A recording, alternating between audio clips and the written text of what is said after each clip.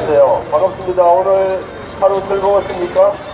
아, 저희들 오늘은 명동에서 제55차 스포츠 콘서트 콩가스를 진행하고 있습니다. 저희들 그 공, 공정사회 국민감시단과 홀리시저 버스킹 교회에서 공동으로 추진하고 있는 어, 포스 콘서트 오늘 55일차 명동에 여러분들을 찾았습니다.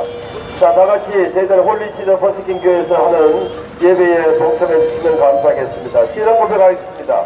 전능하사 천지를 만드신 하나님 아버지를 내가 믿사오며 그 외아들 우리 주 예수 그리스도를 믿사오니 이는 성령으로 잉태하사 동정녀 마리아에게 나시고 본조 빌라도에게 권을 받으사 십자가에 못 박혀 죽으시고 장사한 지 사흘 만에 죽은 자 가운데서 다시 살아나시며 하늘에 오르사 전능하신 하나님 우편에 앉아 계시다가 저리로서 산자와 죽은 자를 심판하러 오시리라.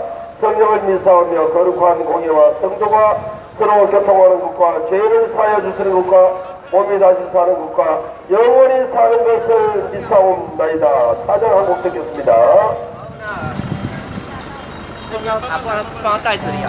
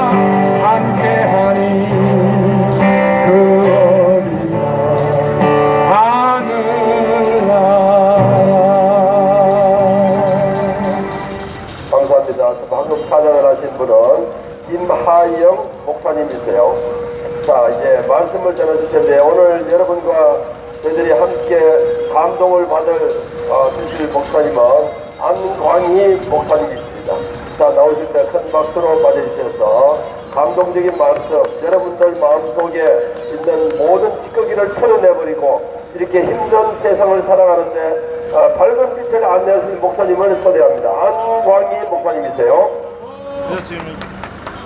네, 안녕하세요. 반갑습니다. 안광희 목사입니다.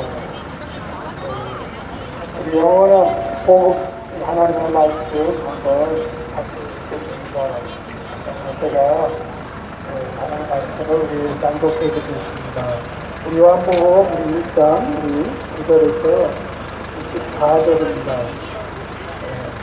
참곧 세상에 와서 각 사람에게 비추는 빛이 있었나니 그가 세상에 계셨으며 세상은 그로 말미암아 지은 바 되었으되 세상이 그를 알지 못하였고 자기 땅에 오매 자기 백성이 영접하지 아니하였으나 영접하는 자 곧 그 이름을 믿는 자들에게는 하나님의 자녀가 되는 권세를 주셨으니 이는 혈통으로나 육적으로나 사람의 뜻으로 나지 아니하고 오직 하나님께로부터 난 자들입니다.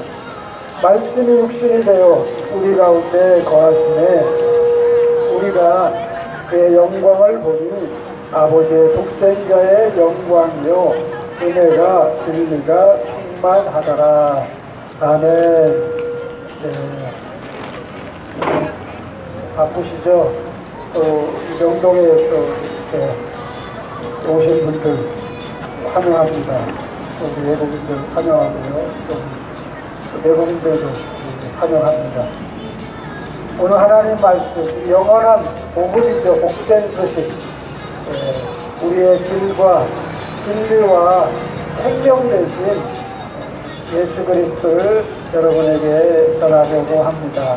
예, 그 예수님, 예수님이 누구신가요? 예, 우리가 복음 1장 1절에 보면 태초에 말씀이 계십니다. 말씀이 하나님과 함께 되셨으니 그 말씀은 곧 하나님이십니다. 이렇게 말씀하고 있습니다. 그 하나님, 그 예수님께서 2000년 전에 우리를 위해서, 우리의 구원을 위해서 이 땅에 오셨습니다. 그 하나님이신 예수 그리스도가 사람이 되어서 이 땅에 오셨다는 겁니다. 누구를 위해서요? 바로 우리를 위해서, 여러분들을 위해서 이 땅에 오셨습니다. 우리의 죄를 사하여 주시려고 또 우리가 죽음의 그런 사망에 얽매어, 얽매어 있는데 그런 죽음을 깨뜨리시고 우리를 구원해 주시려고 이 땅에 오셨습니다. 그 주님께서 한 빛으로 이 땅에 오셨다는 것입니다. 오늘날 우리가 살아가는 세상에 얼마나 어둠이 짙게 깔려 있습니까? 우리가 진리를 알지 못하고 우리 어둠 속에서 얼마나 우리가 또 헤매고 있습니까? 또 세상은 또 거짓되고 또 악하고 또 불의한 이런 세상 가운데 우리의 진리 대신 또 길 대신 생명 대신 예수 그리스도를 여러분들이 믿기를 바랍니다. 그 참빛으로 오신 그 예수님, 그 예수님이 이 땅에 오셔서 우리 각 사람에게 주었다는 겁니다. 우리 사람. 그래서 예수님, 예수님만이 우리의 빛이 되는 겁니다.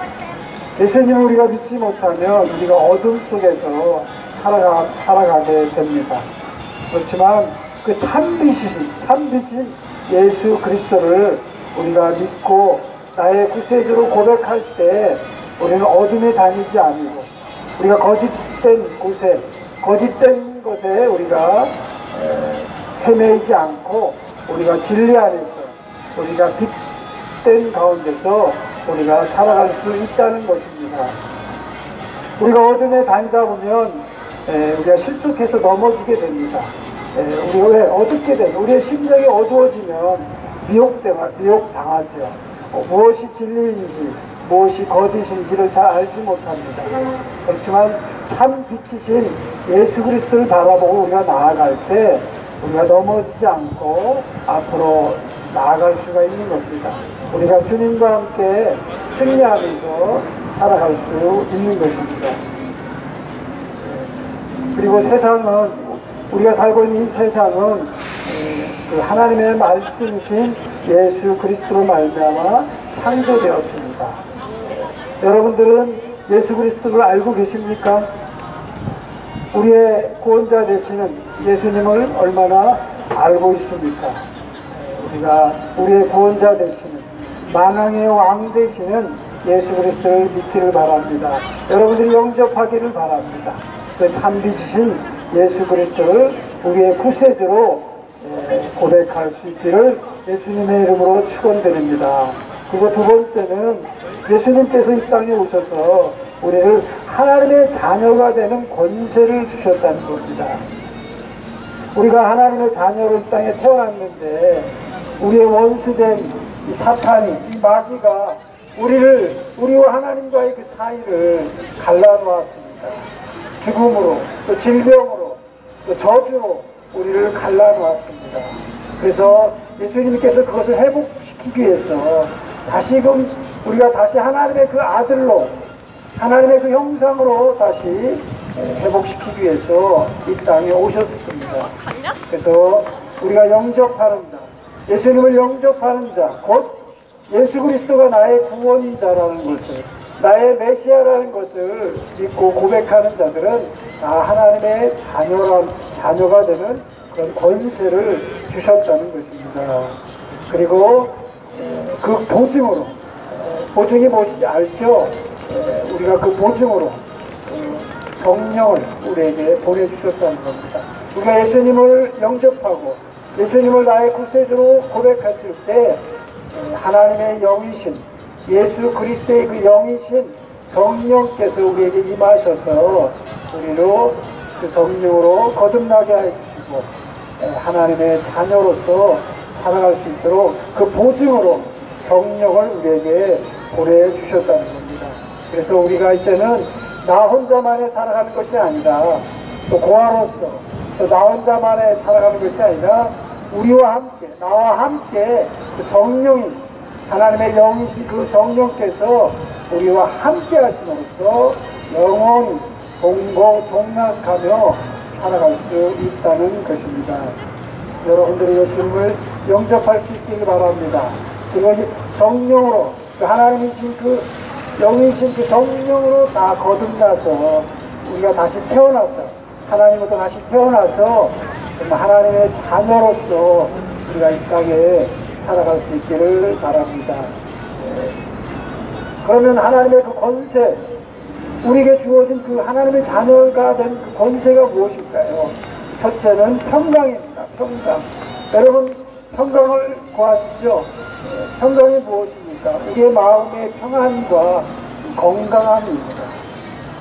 오늘날 우리 현대인들이 분주하게 살아가지만 우리가 부를 추구하고 또 명예를 추구하고 또 건강을 위해서 열심히 운동을 하지만은 우리 심령 가운데 우리의 마음 가운데 평안이 없, 없으면 우리는 금방 병이 됩니다.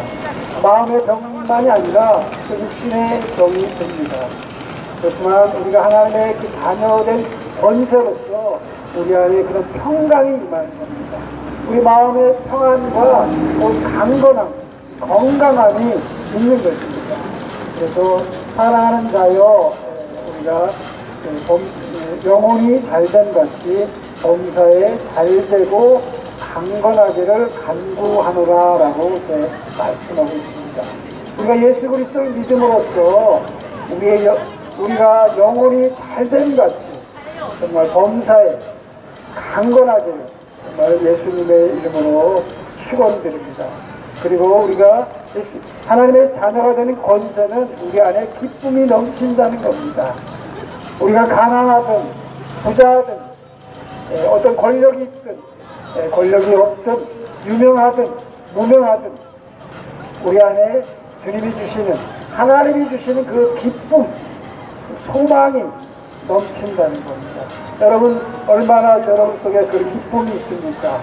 여러분 속에 얼마나 소망이 넘쳐납니까? 우리가 예수 그리스도를 믿음으로써 하나님의 자녀가 되는 권세로서 우리 안에 그런 기쁨이, 그런 소망이 넘치기를 예수님의 이름으로 축원드립니다. 여러분들이 행복하기를 원합니다.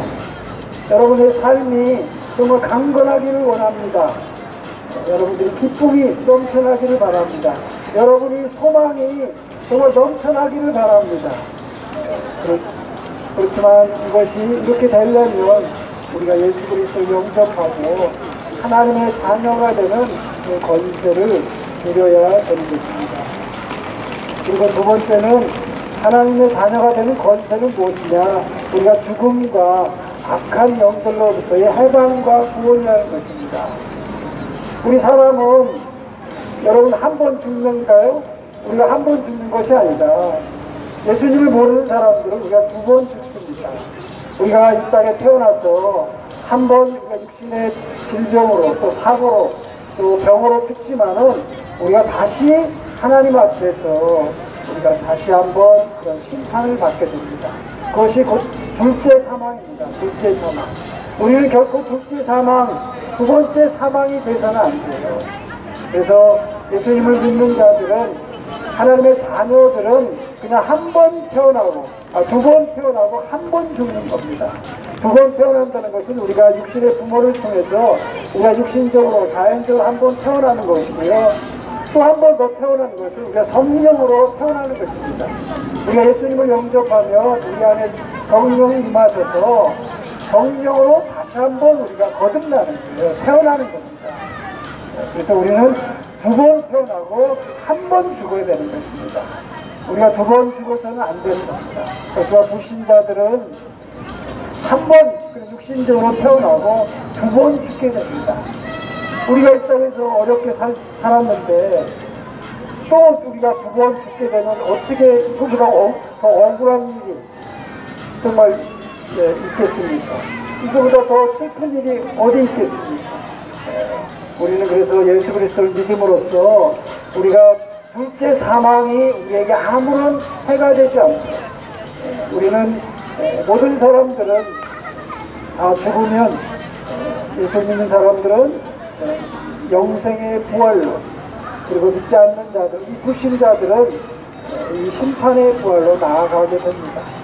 그리고 우리가 불신자들, 믿지 않는 자들은 우리가 이 땅에서 살아온 그 행위대로 심판을 받게 됩니다. 그것이 둘째 사망인 거예요. 우리가 불못, 영원한 불못에 들어가게 되는 것입니다. 그래서 여러분들이 정말 우리가 이 땅에서 하나님이 보내신 이 땅에서 우리가 살아가면서 우리는 두 번 태어나고 한 번 죽는 걸로 우리가 영생의 부활로 하나님 앞에 나아갈 수 있기를 정말 예수님의 이름으로 축원드립니다. 예, 그리고 예, 마지막으로 또 우리 세 번째는 우리가 하나님의 자녀가 되는 권세는 우리 주 예수 그리스도와 함께 승리하며 사는 겁니다. 우리가 예수님과 함께 승리하면서 살아가는 겁니다. 여러분 승리하길 바라죠. 여러분 우리가 이 땅에서 살아가면서 승리하길 바라잖아요. 그것은 예수 그리스도와 함께 우리가 승리하면서 나아가는 겁니다. 우리가 예수 그리스도를 영접하고 하나님의 자녀가 되는 그 권세를 얻고 우리가 예수님과 함께 승리하면서 나아가는 겁니다. 얼마나 기쁜 일인가요? 여러분 우리가 이 땅에서 살아가면서 우리 주 예수 그리스도와 함께 승리하면서 살아가는 것이 얼마나 기쁜 일입니까? 얼마나 자랑스러운 일입니까? 아무쪼록 여러분들이 다 예수님을 믿고 영접하고 구원받고 우리 주님과 함께 승리하면서 나아갈 수 있기를 바랍니다. 네, 그래서 우리가 영원히 주님과 함께 왕노릇하며 살아갈 수 있기를 바랍니다. 여러분들이 바쁜 와중에서도 하나님의 말씀이 여러분의 귀를 기울이고 그 말씀이 우리의 길이 되고 진리가 되고 생명이 됩니다. 여러분들이 예수님을 영접할 수 있기를 바랍니다. 그래서 여러분이 하나님의 자녀가 되는 그런 권세를 누릴 수 있기를 바랍니다. 우리가 이 땅에서 예수 그리스도와 함께 승리하면서 죄와 죽음에서 우리가 승리하면서 그 다음에 악한 그 사탄과 마귀와 악한 영들에게 얽매여 있는 것이 아니라 우리가 예수 그리스도의 이름으로 그들을 쫓아내고 물리치고 예, 우리가 주님과 함께 승리하면서 살아갈 수 있기를 바랍니다. 그리고 마지막으로는 예수님께서 이 땅에 오셔서 은혜와 진리가 충만하시다는 것. 주님이 우리에게 그런 은혜를 베풀어 주신다는 겁니다. 우리에게 그 진리 가운데로 우리가 인도, 우리를 인도해 주신다는 것입니다. 그럼 어떠한 은혜와 진리인가요? 우리 첫 번째는 예수 그리스도가 십자가에 죽으심으로써 우리의 죄의 문제를 해결해 주셨다는 겁니다. 우리는 다 죄인입니다. 우리가 죽게 되면 우리의 삶에 따라서 우리의 행위대로 결국 우리 하나님 앞에 나아가서 심판을 받게 됩니다. 그렇지만 우리가 예수 그리스도를 믿음으로써 주님이 우리를 위해서 십자가에 죽으심으로써 우리의 죄의 문제를 다 해결해 주셨다는 겁니다. 얼마나 감사한 거예요. 네, 너무나 감사하시죠. 그리고 두 번째는 예수님이 십자가에 죽으시고 부활하심으로 어, 그런 사망을 사망의 권세, 죽음의 문제를 해결해 주셨다는 겁니다. 그래서 우리가 앞에서 제가 말씀드렸듯이 우리 믿는 자들은 한 번 죽는 겁니다. 그래서 우리가 영생의 부활로 나아가는 거예요. 우리에게는 둘째 사망이 없는 겁니다. 그래서 우리가 그런 사망이 이제는 우리에게 아무런 상관이 없습니다. 우리가 나중에 주님 앞에 나아갈 때 우리는 영생의 부활로 주님 앞에 나아가서 영원히 우리 그 하나님과 살, 살게 되는 것입니다. 그리고 세 번째는 예수 그리스도가 승천하시면서 공중 권세 잡은 그런 사탄과 마귀와 그런 악한 영들을 정복하셨다는 겁니다. 주님은 이 만왕의 왕이고 만주의 주십니다. 오늘날 이런 악한 그런 우상 숭배, 그런 무당, 이런 점집들, 네, 그런 것들이 많이 있잖아요. 악한 영들에 사로잡혀 있는 사람들이 얼마나 많이 있습니까? 또 중독에 사로잡혀 있는 사람들이 얼마나 많이 있습니까? 그렇지만 우리가 예수 그리스도의 이름으로 선포할 때, 예수 그리스도의 이름으로 내게 임하는 모든 저주와 묶인 것을 끊을 때 우리는 승리할 수 있는 겁니다. 우리가 예수님을 찾지 않으면 결국 사단은 우리를 죽음으로 죄, 죄로 끌고 가게 됩니다. 여러분 어느 것을 선택하시겠습니까? 예수 그리스도는 우리의 만왕의 왕이요 만주의 주십니다. 가장 강하고 위대하신 분이십니다. 세상에 그런 잡신이나 우상이 아닙니다. 세상에 많은 종교가 있지만 그것은 하나의 종교, 인간이 만든 종교에 불과한 것입니다. 그렇지만 하나님 이 우주 만물을 창조하 시고 우리 인간을 창조하신 그 하나님은 우리의 신앙의 대상이고 우리의 믿음의 대상인 거예요. 우리의 아버지가 되시는 거예요. 그 하나님께서 우리 하나님을 믿고 나아갈 때 우리에게 그런 악한 영들에게는 아무런 소용이 없는 겁니다. 우리가 예수 그리스도 이름을 부르실 때, 선포할 때, 우리는 우리에게 임하는, 우리에게 다가오는 그런 악한 그런 저주와 그런 모든 죄의 문제들, 이것을 다 끊을 수 있는 겁니다. 여러분들 예수님을 믿고 선포하십시오. 나사렛 예수 그리스도의 이름으로 명하노니 내게 임하는 저주는 끊어질지어다. 내게 묶인. 것은 다 끊어질지어다. 아멘. 아멘 하고 선포하시기 바랍니다. 이것이 얼마나 위대한 일인 겁니까? 얼마나 감사하신 일입니까? 이 모든 공중 권세 잡은 이 사탄을 다 깨뜨려 주셨다는 겁니다. 예수 그리스도가 하늘, 하나님, 하늘나라에 승천하시면서 이 모든 사탄, 악한 마귀의 권세를 다 깨뜨리는 겁니다.